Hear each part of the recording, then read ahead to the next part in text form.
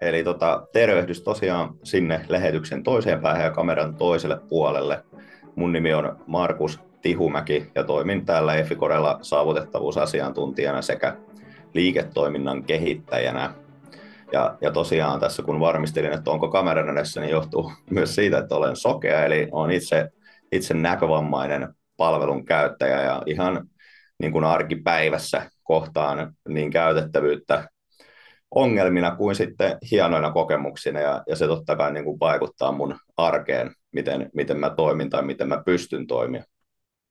Ja, ja silloin kun se palvelu on mulle käytettävä, niin se lähtee siitä, että se on, on tietysti toteutettu saavutettavaksi.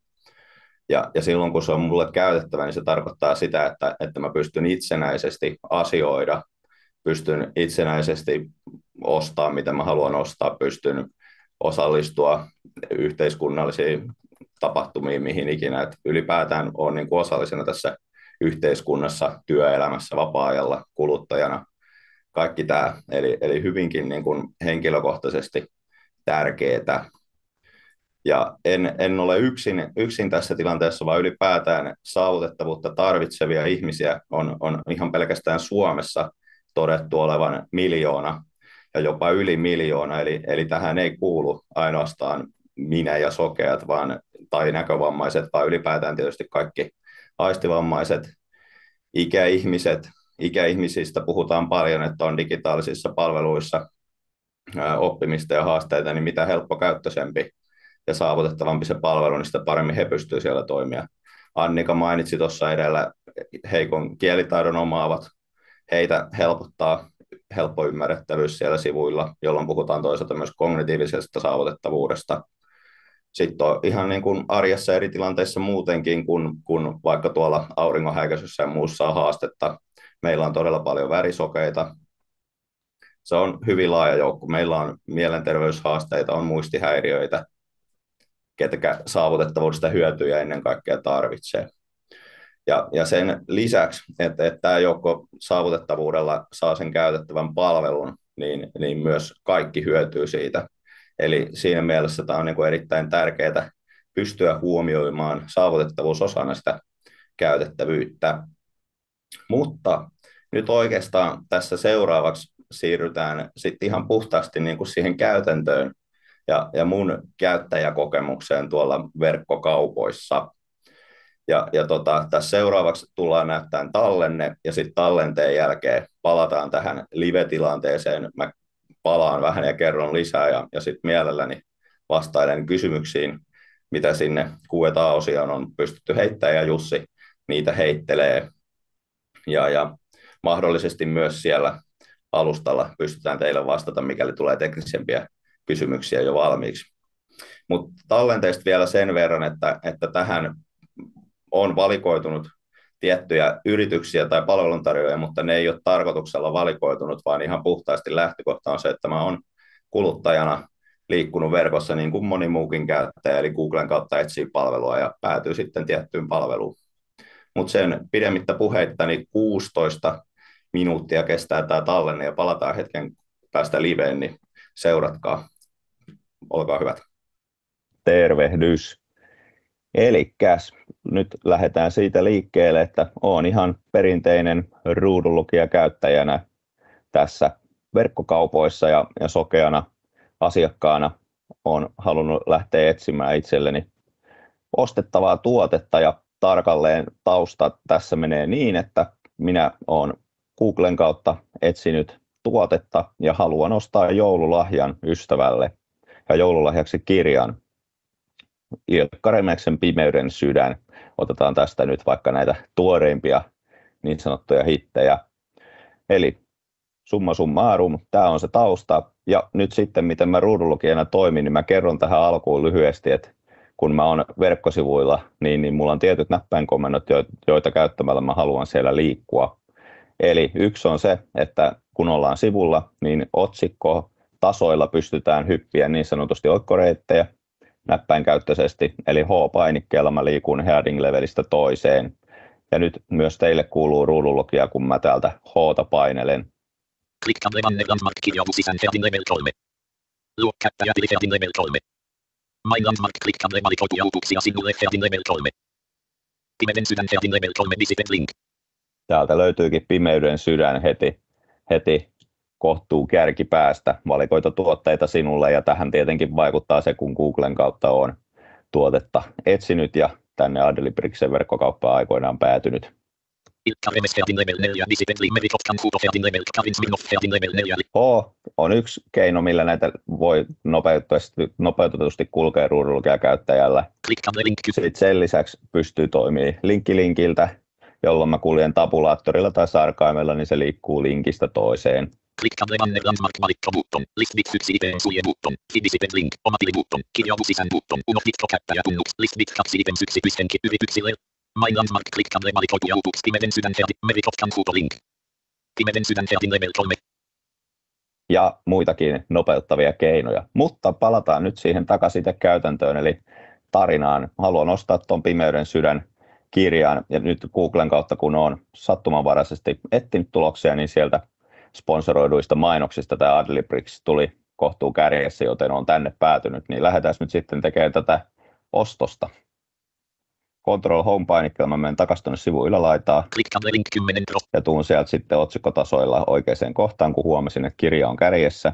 Klikkande banner landmark kirjaudu sisään. Hello käyttäjä tili Headin. My landmark klikkande valikoitu. Pimeden sydän Headin level 3 visited link.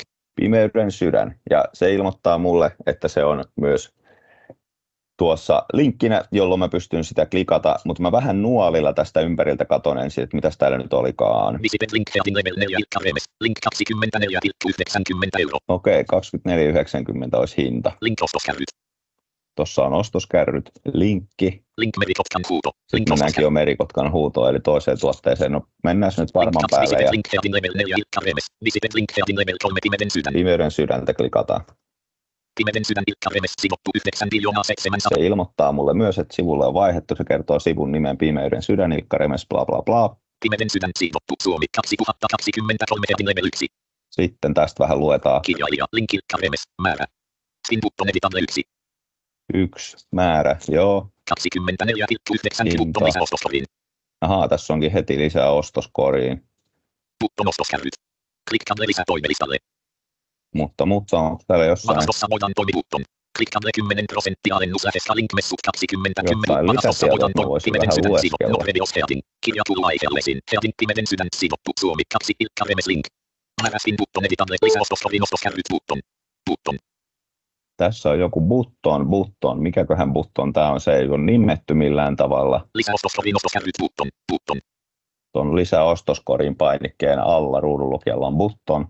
Klikkande messut 23 link. Kuvaus button. No täällä lukee kuvaus, Tuotetiedot button. tuotetiedot. Kuvaus Mä haluaisin kuvaus. Painoin enteriä, mutta ei kyllä ilmoita mulle, että olisi mitään tapahtunut. No, mä nuolilla selaan, että tapahtuuko jotain. Button lue lisää. Lue lisää. Button kuvaus button. On vain yksi remes. Ahaa, Blank. Mikko Jalama on puolustanut supon maatoluput saanut tuomi kilpistymässä blank. Link tutustu tästä lukunäppeeseen. Blank. Täällä on lisätietoa, blank. joo, no mutta tämä on se kirja, minkä mä haluaisin ostaa. Pimeden sydän sidottu Suomi Mennään 2000. Shift ja H-painikkeella tuohon otsikkoon, ja nyt mä menen yrittää lisätä ostoskoriin. Lisää ostoskorin ostoskärryt button. Painetaan siitä. Eikö mulla yksi ollut tuohon? Määrästin button editalle selected 1. Kyllä, enteriä. Mhm. Painoin enteriä, mutta se ei nyt ilmoita mulle, että menikö tuo ostoskärry. Tai ostoskori, mä en itse asiassa tiedä. Ei tapahdu mitään ruudunlukijalla. Jos Määrästin button editalle selected Pistetään 1. tohon. 2. 2 unselected. kaksi, yksi, 1. onko tässä joku bugi, jos toi vaikuttaa? Lisätään uudestaan. Ei tapahdu, ei tapahdu mitään. Tota, tässä on joku button, button, mutta mikä? Kirjattu. Mukana seuraavissa no next heading. No next heading. Otsikoilla No Next niin ei pääse enää. No joskus täällä on täällä valikoissa sit ostoskori, niin katsotaan, mä menen täältä Button löytäisinkö mä? ostoskori. ostoskorin. Täällä on button ostoskori, ostoskärryt, mutta tota, tämä nyt oikein vaikuta hyvältä. Painetaan sentteriin. Ei, ei tapahdu mulle yhtään mitään. Mä-. Täällä on sitten jo jotain ihan muita juttuja. Ilkka Remes link. Määrästin button editable selected 1. Lisäosto. Joo, no ei yksinkertaisesti, en luovutan, en, en rupea nyt säätää Adlibriksen kanssa, en, en halua, tota, kun näyttää, että ei valitettavasti toimi, niin mennään sitten, mä oon Googlesta mennyt seuraavaan kauppaan, Akateeminen kirjakauppa. ja, ja löytyy akateeminen kirjakauppa. Sulje valikko. Ja katsotaan täältä, mä nyt sitten kokeilen, että löytäisikö mä täältä sen saman tuotteen. Mennään täälläkin otsikoilla. No next heading. No next, no next No, next heading, okei, täällä ei ole ollenkaan otsikoita, että mä en nyt ylipäätään selaa tätä sivua. Sitten katsotaan, tota, onko täällä jotain, Evoker Pritse 2000. Lastenkirjat Visited. Nuorten kirjat Okei, no täällä on. täällä on kyllä tota, linkkejä. Sitten G-painikkeella mä voin selailla kuvia myös, grafikkeja, onko täällä jotain niitä elementtejä. Akateeminen kirjakauppa grafik. Pocket missing image descript. Laga seura velet grafik. Imageidon yhtä kuin 9 biljoonaa 7. Imageidon yhtä kuin 9 biljoonaa 780. Imageidon yhtä kuin 9 biljoonaa 781. Imageidon yhtä kuin 9 biljoonaa No on 700. jotain imageja, numerosarjoja. Tämä on itse asiassa hyvin, hyvin yleinen monissakin palveluissa, että puuttuu noin vaihtoehtoiset alt-tekstit, jotka sitten kertoisi sen kuvan sisällön. Toki ei välttämättä ole informatiivista sisältöä, mutta silloin se voisi piilottaa, niin toi nyt ei ainakaan mua palvele. Mennään e-painikkeella edit-kenttiin, mikä myös nopeuttaa selailtavuutta. Etsi tuotteita koko kaupasta. Edit. Etsit tuotteita koko kaupasta. Hienoa, tällainen löytyi. Etsi tuotteita koko kaupasta. Edit. Ja nyt mä haluan sen. E, E. Pimeyden sydän ja painan tietenkin enteriä hakijakseni. Pimeden sydän akateeminen kirjakauppa. Pimeyden sydän akateeminen kirjakauppa. No niin, se ilmoitti, että voin päätellä, että haku on tapahtunut. Nyt mä menen otsikkotasolla taas. Pimeden sydän akateeminen kirjakauppa. Heading level 1. Pimeyden sydän akateeminen kirjakauppa Herring Level 1 täältä löytyy. No niin, katsotaan. Tablet 1 Robsan 3 columns Rob 1 column 1 Tablet 3 Robsan 1 columns Rob 1 column link Haluatko tarkentaa hakukriteerejä? Blank. En Combo box halua. kollapset suositummat ensin. Blank. Rob 2 link pimeyden sydän. Tekijä Ilkka Remes. Kustantaja. Zoikat saatavuus. Noin 3-4 arkipäivää. Mhm. 29,90. Oho, vähän, vähän tota, kalliimpi tietysti kuin äskeisessä. Rob 3 link pimeyden Näin. Tekijä Josef. Nyt on jo Josef Link ei. Tekijä Mä haluan Ilkka Remeksen. Painetaan tuosta linkistä enteriä. Okei. Ei, Rob 3 pimeyden. Rob 2 pimeyden sydän link. Tekijä Ilk link pimeyden sydän. ei taas niinku ilmoita mitään. Tekijä Ilkka Remes. No next Ei heading. ole ensimmä, seuraavia otsikoita. Selataan nuolilla vähän. Link. Link soi. Sivumäärä. Naasu. Kovakantinen kirja. Painos. Okei, 1 P. kovakantinen kirja, joo, sitä mä halusin joululahjaksi ostaa. Julkaisuvuosi. Painos. 1 P. Julkaisukieli. Suomi on vain yksi remes. Mikko on Lava sama Kaivosarpesta. kuvaus tietysti kuin äskeisessäkin kaupassa. Sieltä löytyy synkänsä No niin, katsotaan, mä haluaisin nyt vaan niinku ostaa. Som graphic link. John Graphic, Näytä kaikki tuotetiedot Näytä. button. Kirjaudu sisään link. kirjaudu. Rekisteröityminen link. Omat tiedot link. Omat tilaukset link. Mm. Omat rekit kirjaudu. Som graphic link. Tampere. Turku. Tapifel myy arvion lisäostoskodin. No täällä on joku lisää ostoskoriin. Nuolilla löytyy. Klikkaa näitä lisää. Näytä lisää. Lisäostoskodin. Mutta se ei ole niin nimetty linkiksi, että toi ei ilmeisesti ole linkki, mutta joskus käy myös niitä, että nämä on linkkejä, vaikka ei olisi nimetty, niin, niin mä kokeilen enterillä. Ei ilmoita muutoksesta tietysti, kun se ei välttämättä linkki olekaan. Arvioimme, että tuo lisäostoskodit. Klikkaa näitä lisää. Blank. Blank. Osumatarkkuus häkellyttävät fiktiota ja fat osuma blank blank. Klikkaa lisäostoskodin.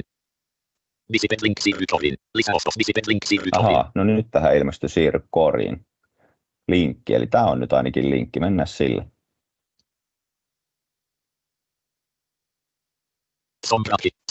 visited link. Ei tämä. En tiedä, onko tässä nyt näkyvillä jotain pudotusvalikoita tai muuta, mutta ei, ei näytä nyt pelittävän niin kuin olisin halunnut. Otoftalle suljema link. Menen Hevoken täällä link. vielä Kaulakirja. sivun Tietokirjallisuus. ylälaitaan. Hyvinvointikin. Harrastekin. Visited link. Lastenkirja. Link. Nuortenkirja. Link. Selko. Link. Äänikirja. Link. Löydänkö mä Lahjakortti. täältä Link ostokori? tietoa merkota. Visited link. Akateeminen link. Grafik. Akateeminen link. Unnavelet. Grafeksi tuotteita. Koko. Klikkable. Link. Tarkenne. Klikkable. Klikkable. Kirjaudu. Klikkable. Ostoskor 4 on 4. Ostoskori 4. Ostokori ja sitten nuolella alas, niin neljä, hetkinen. Ostoskori. Mutta tämäkään ei taas ilmoita linkkiä tai buttonia. Klikkaa. Tablet 1. Robsant 3 columns. Rob 1 column 1. Tarkennettu hatu. Link. Pääsenkö Link. mä. Klik. Link. Klik. Klikkable. Ostoskor 4. Ostoskori. Painetaan enteriä. Ostoskori akateeminen kirjakauppa. Okei, Ja ostoskori. No nyt mä pääsin, pääsin tänne, mutta vähän, vähän tota, Minulla on lahjakortti tai kampanja ymmärtää. Level 4. Button päivitä button. Button level. Edit blank. Joo, mutta tota, Tablet 4 Robsant 50.8 10 Pro 108.7. en mä nyt lähde tässä jotain lahjakorttia ja ei No ole muita otsikoita ja, ja tota, vähän, vähän työllä, sen mä nyt totakaan, totakaan tuu valitseen. Se oli vähän hintavampikin. Mennään sitten seuraavaan verkkokauppaan, mikä tuli Googlesta myös.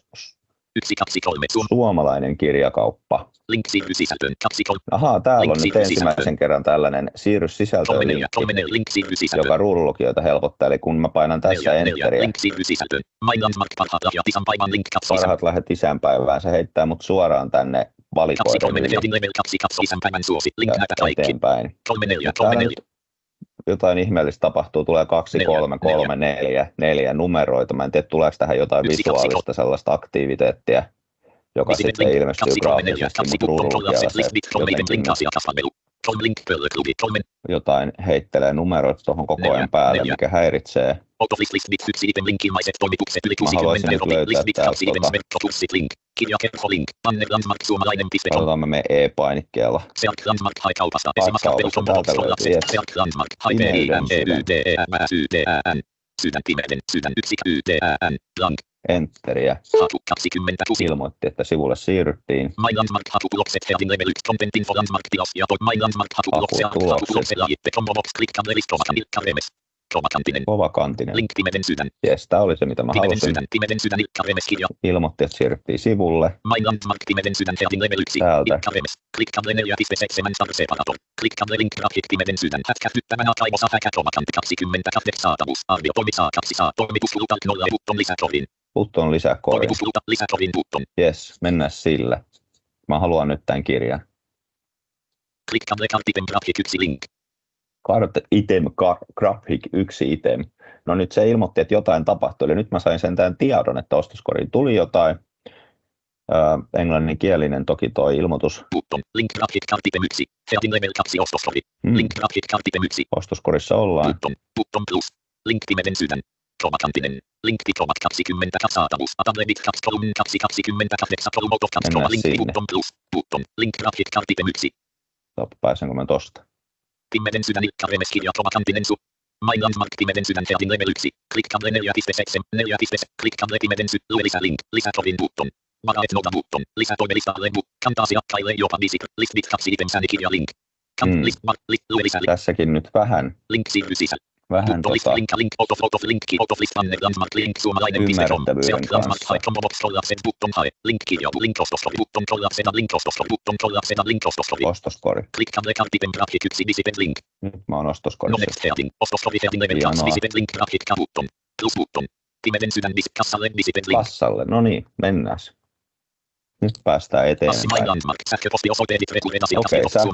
sähköpostiosoite edit. Ilmoittakaa minulle tarjouksista ja. Ilmoittakaa tarjouksista. No, en tarvi. Maa combobox suomi collapse Maa rekureen. combo box. Eli täältä mä voin valita. Suomi onkin jo valittuna. Etunimi, Sukunimi yhteisö ja pakollinen. Ja pakollinen pakollinen, Osoite. Osoite osoite. Postinumero edit Mutta hienoa, täältä löytyy nimilaput ja kaikki, eli nyt mä pääsisin, pääsisin tätä ostosta viemään jo eteenpäin, ja kun näissä on nimilaput ja etenen näissä, niin, niin mä myös tiedän, mitä mä kirjoitan. Ja täältä mä nyt sitten pystyisin etenemään, ja-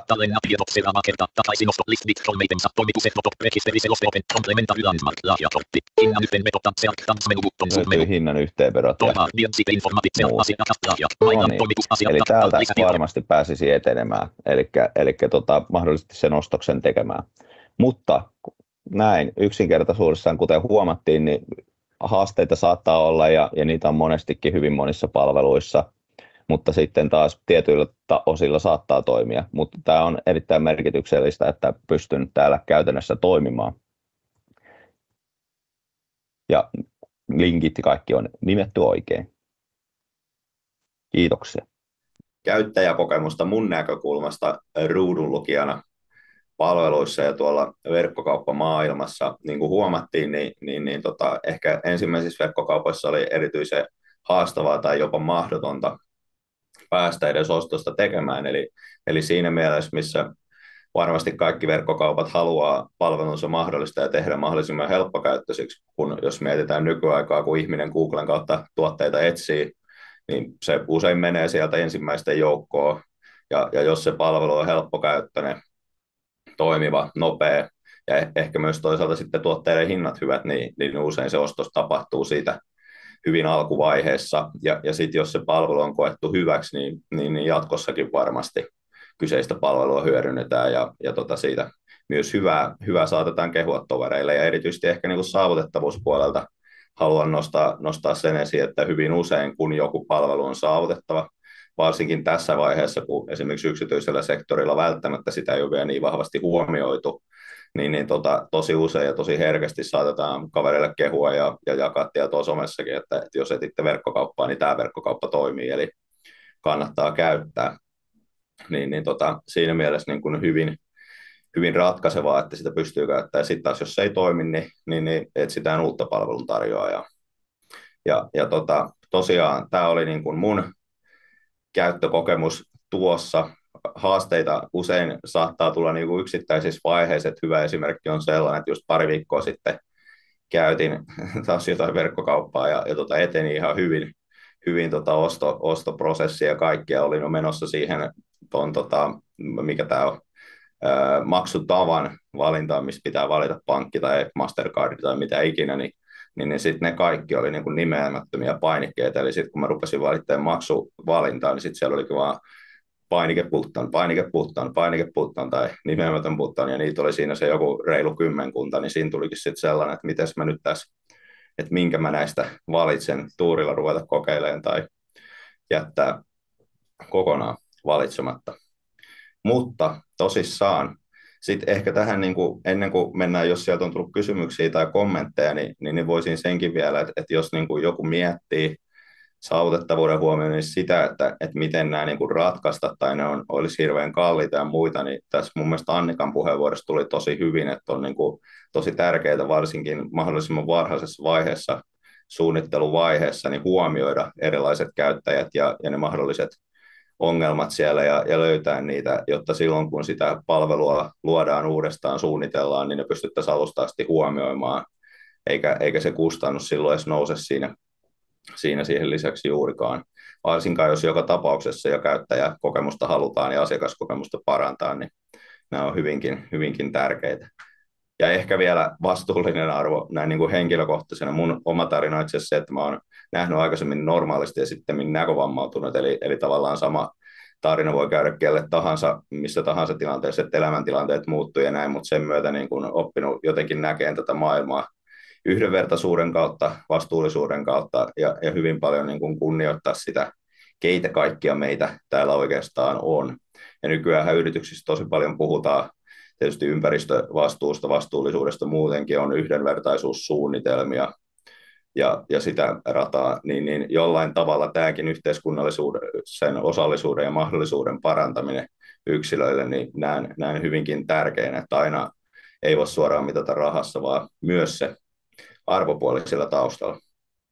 Mutta tämä ehkä tässä nyt mun osuudesta, onko meille tullut itsessään kysymyksiä tai jotakin kommentteja, mitä sieltä voisi vois nostaa ennen kuin sitten taas viedään seuraavia kiinnostavia puheenvuoroja eteenpäin. Jees, tosi paljon kiitoksia Markus mielenkiintoisesta puheenvuorosta. Täällä onkin, onkin tota, kiitelty, kiitelty tota, kiinnostavasta demosta ja, ja tota, kuinka valaisevaa, valaisevaa tämä oli.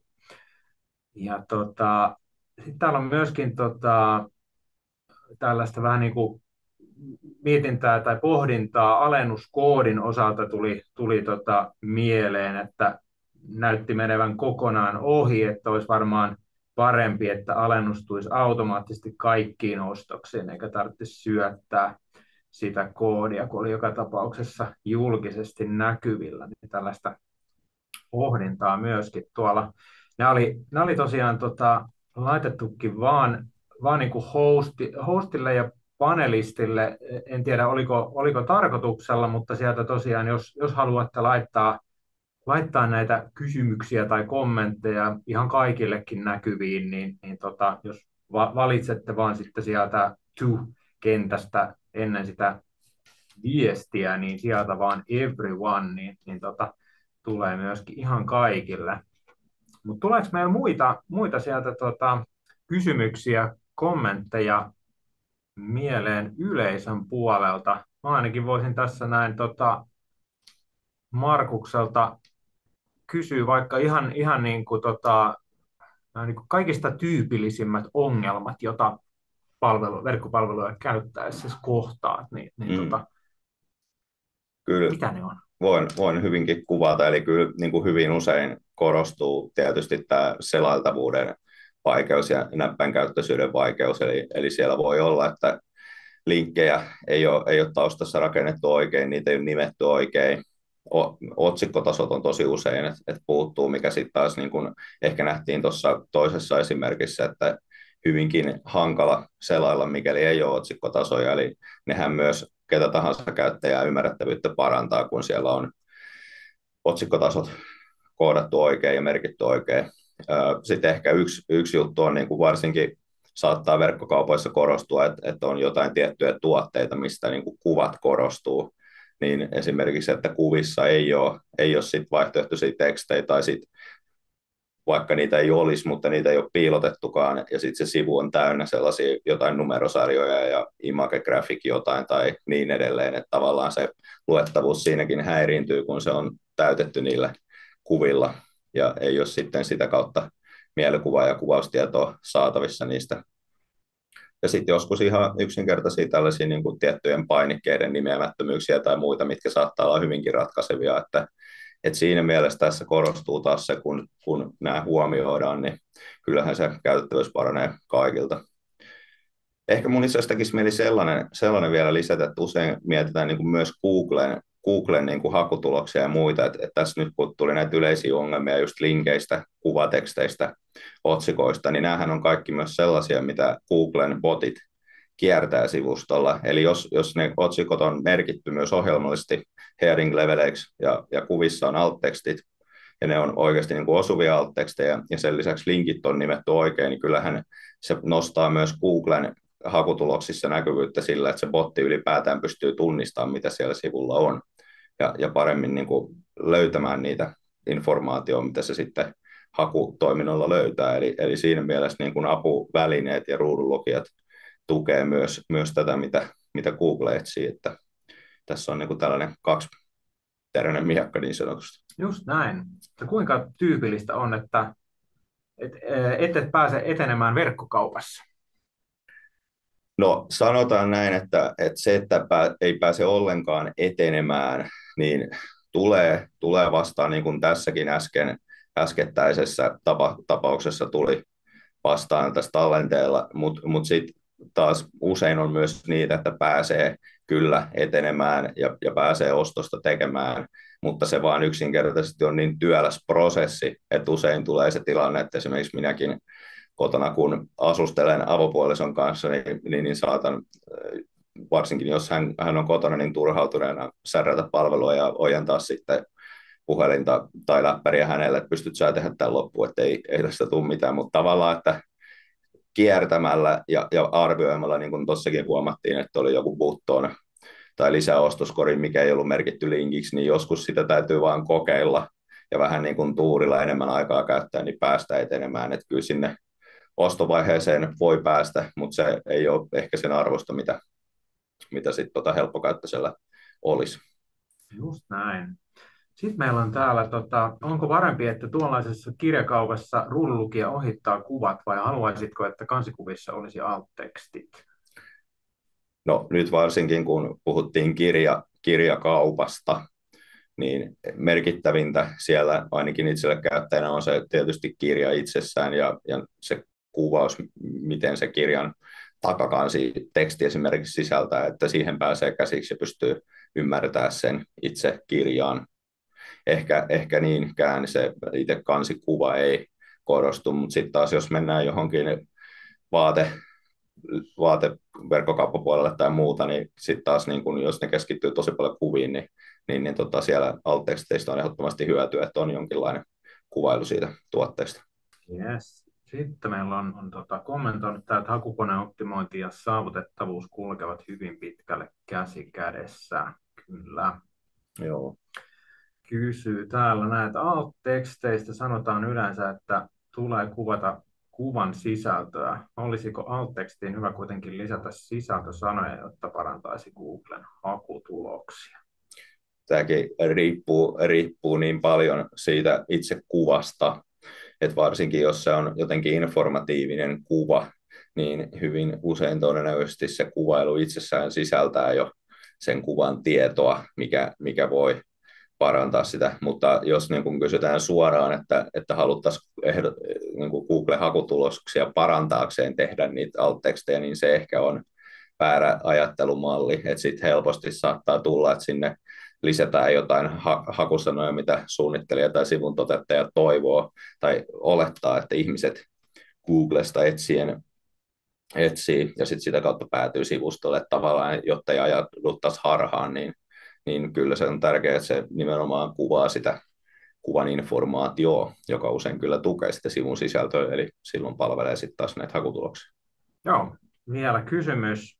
Ruudunlukijan seuraaminen kuulosti haastavalta. Tottuuko siihen ajan kanssa? Onko ruudunlukijoissa valinnanvaraa ja eroja? Joo, tottuu. Ja tuohon niin hauska vielä sanoa käytännön, että toi puhenopeus tuossa itse tallenteella oli nyt tapaut, olisiko se ollut, no en muista lukua, mutta se oli kuitenkin hyvin useakertaisesti hitaampi, mitä mä normaalisti käytän. Eli, eli tota, jotta normi kuulija, joka ei ole tottunut, niin pystyy palvelua kuuntelemaan tallenteelta, niin mä hidastin, hidastin sitä hyvinkin paljon.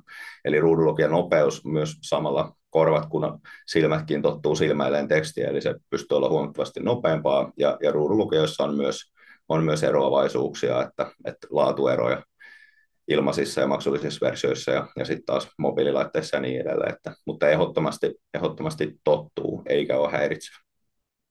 Ja sulla oli mikä ruudunlukija tuossa? Tuossa oli NVDA, Niilo Vihtori David Antti, ihan ilmainen ruudunlukija, eli jokainen periaatteessa voi myös kotikoneella ladata ja kokeilla. Ja Applen tuotteista löytyy asetuksista käyttöapu VoiceOver ja Androidilta Talkback, että sen kun vaan kokeilemaan. Minkälainen on mielestäsi paras päänavigaatio sivustolla, johon kuuluu useampia alasivuja pääsyjen alla? Onko merkitystä sillä, miten nämä valikot on merkitty, linkkinä menuna vai jotenkin muuten? Jos, jos ne on menuna niin, että ne on ihan ohjelmallisesti oikein, eli romahtanut tai pystytään sulkemaan se ja avaamaan se, niin totta kai helpottaa riippuen siitä, kuinka paljon siellä sitä sisältöä on, mutta tärkeintä ehkä se lukemisjärjestys, että se on oikein, ja että jos ne on alavalikoita, niin ne on myös ohjelmasti niin, että niitä, niihin pääsee käsiksi, niin silloin se on helppo ymmärtää teisyyttä niin sanotusti, jos voisi sanoa. Ja se siirryssisältöön linkki siellä edellä on tärkeä siinä mielessä, että nämä valikot pystyy aina tarvittaessa ohittamaan. Yes. Joo. Hei, kiitos oikein paljon Markus. Kiitos, kiitos.